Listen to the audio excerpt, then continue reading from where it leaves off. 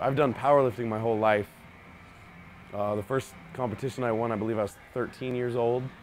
Uh, and in powerlifting, specifically in the squat, the top of your knee and the crease of your hip as you squat down have to match, which means that on the backside of your leg, your knee joint is more than just a 90 degree because you have a hamstring that's coming down from it. So the knee flexibility is very important.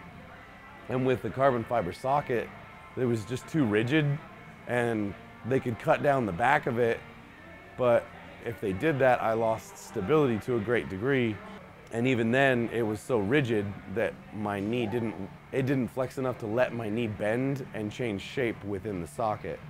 With the composite that Coyote is, has made in conjunction with the softer plastic liner on the inside, they can cut the back down and let my knee flex and move within the socket and it, it will adapt.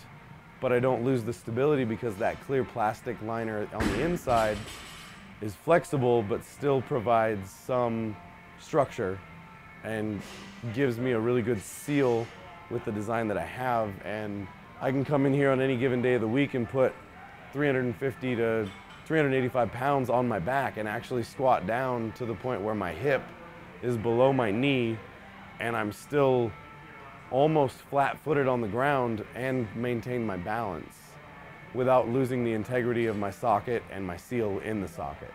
So it's, it's definitely a, in my opinion, a step up from the classic carbon fiber sockets